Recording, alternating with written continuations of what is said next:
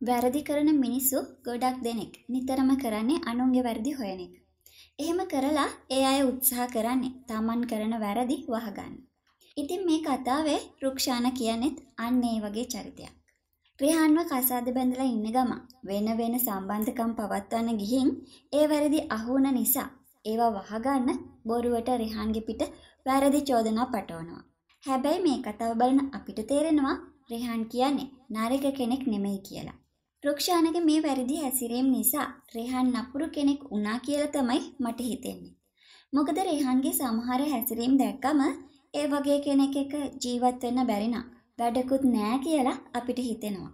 ඔයාට මතක ඇතිනේ සාරිනි මුලින්ම රෙහන්ට කෑම හදලා දුන්න දවස.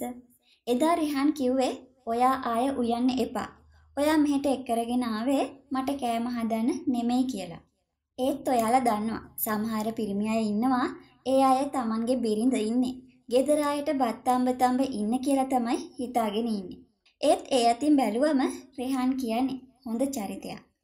පසුගිය එපිසෝඩ් එකේදී පෙන්නපු මෙන්න මේ සිදුවීමේදී සරණි රෙහාන්ගෙන් අහනවා බානුල සින්දුවක් කරනවා. මමත් ගියාට කමක් නැද්ද මහත්තයා කියලා. ඉතින් මේ වෙලාවේදීත් රෙහාන් කිව්වේ මම නිසා ඔයාගේ නිදහස නැති කරගන්න එපා කියලා. ඉතින් ඒ සිදුවීමෙන් අපිට තේරෙනවා රෙහාන් කියන්නේ හොඳ කෙනෙක් කියලා. එයා රුක්ෂානටත් මේ වගේම නිදහස දෙන්න ඇති. හැබැයි රුක්ෂාන කළේ ඒකෙන් අයුතු ප්‍රයෝජන ගත්ත එක. හරි දැන් සාරණී බානුල සින්දුව කරන තැනට යනවා කියලා රෙහන්ට කිව්වත් එයත් ඒකේ විෂුවල් එකට ඉන්නවා කියලා කිව්වේ නෑ. ඉතින් මේක සරණී රෙහන්ට දැම්මම කියන්නෙත් නෑ.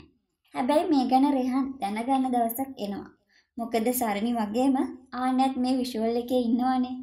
ඉතින් එදාට රෙහන් සරණිට මොන වගේ දෙයක් කියයිද?